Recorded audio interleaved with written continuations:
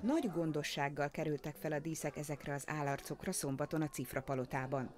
A Farsangi Kreatív Családi Napon a mindenki által ismert velencei stílusú maszkokat készíthettek a gyerekek. Egyikük olyan büszke volt a művére, hogy még nekünk is megmutatta.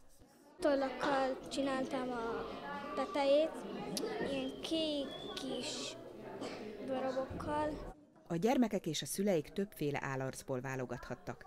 Ezeket flitterekkel, gyöngyökkel, tollakkal, sújtás jellegű szalagokkal, valamint csillogós, arany-ezüst filztollakkal lehetett díszíteni.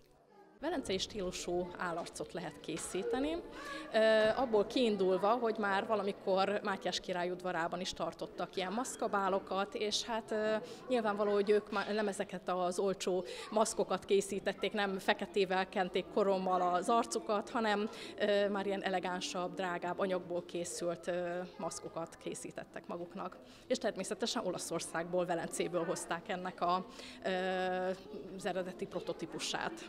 A Cifra palotában már bevett szokás, hogy a jeles napokhoz, időszakokhoz kapcsolódnak egy-egy programmal. Így került terítékre szombaton a farsang, melyen több visszajáró vendég is részt vett.